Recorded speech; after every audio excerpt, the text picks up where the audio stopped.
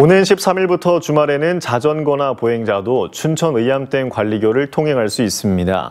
개방 시간은 시기에 따라 오전 8시에서 오후 7시 또는 오전 9시부터 오후 6시까지입니다. 결빙으로 사고 위험이 큰 12월에서 2월 사이에는 개방하지 않습니다.